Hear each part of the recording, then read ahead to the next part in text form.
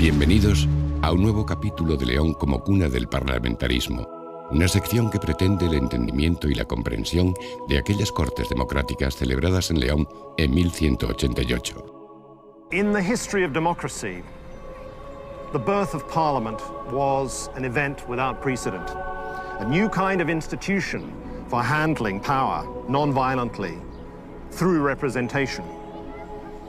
But where was it born? According to most observers, was in England. Big Ben is its symbol, that it was a gift, an incomparable gift of the English to world civilization.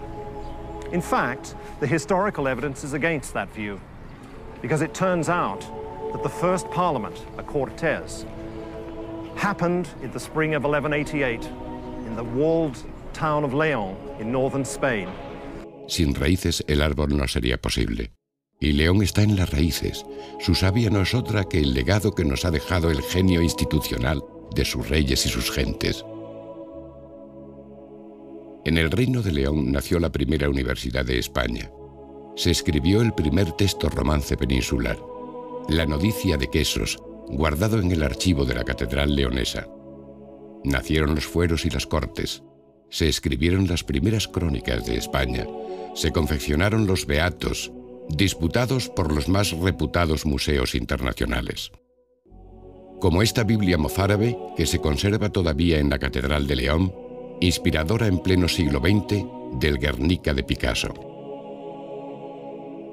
El poema de la conquista de Almería dice hablando de León, según su parecer se interpretan las leyes de la patria, con su ayuda se preparan fuertes guerras como el león supera a los demás animales en fuerza y belleza.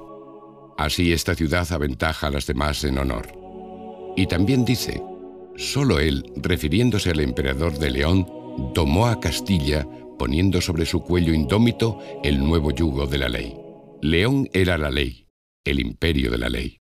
Continuaremos en el próximo programa desgranando este formidable documento visual que coloca León en lo más alto de España y del mundo.